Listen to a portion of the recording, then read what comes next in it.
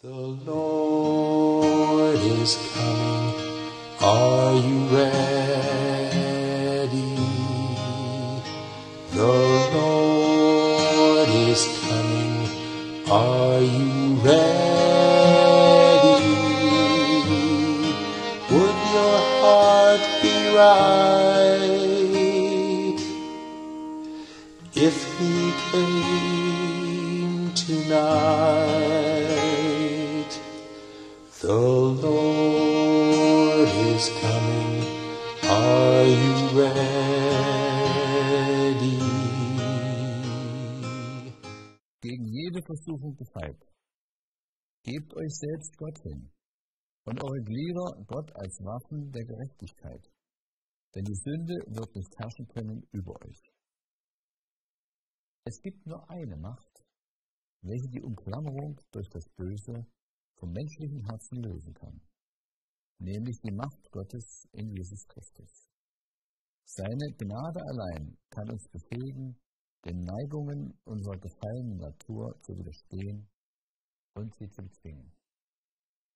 Der unendliche Wert des Opfers, das für unsere Erlösung gebracht werden musste, offenbart, dass die Sünde etwas ungeheuer Böses ist.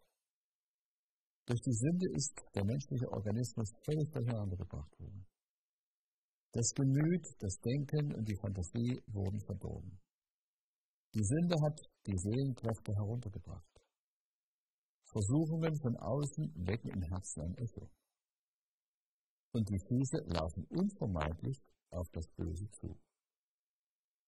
So wie das Opfer, das für uns gebracht wurde, vollständig war, so soll unsere Wiederherstellung, die Beseitigung der Verunreinigungen durch die Sünde vollständig sein.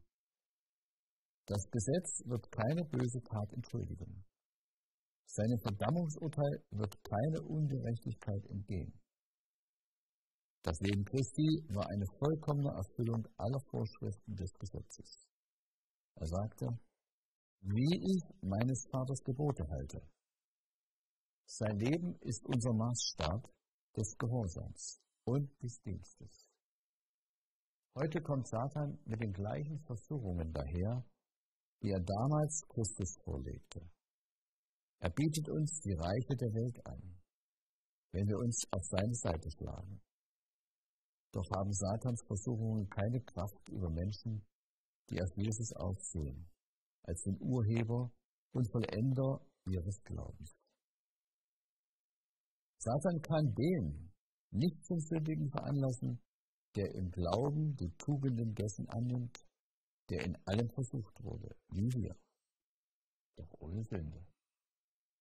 Die Austreibung der Sünde ist ein Akt, den der Mensch selbst vornehmen muss. Es stimmt, dass wir keine Kraft haben, uns aus der Herrschaft Satans zu lösen.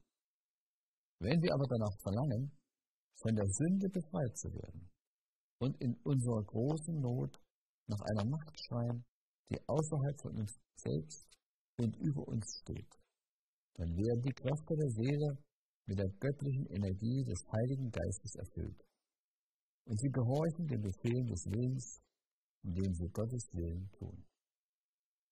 Gott wird ein Volk haben, das eifrig gute Werke tut und mitten in der Verdorbenheit unseres degenerierten Zeitalters standhaft bleibt. Es wird ein Volk geben, das sich so fest an die Kraft Gottes klammert, dass es gegen jede Versuchung gefeit ist. The Lord is coming. Are you?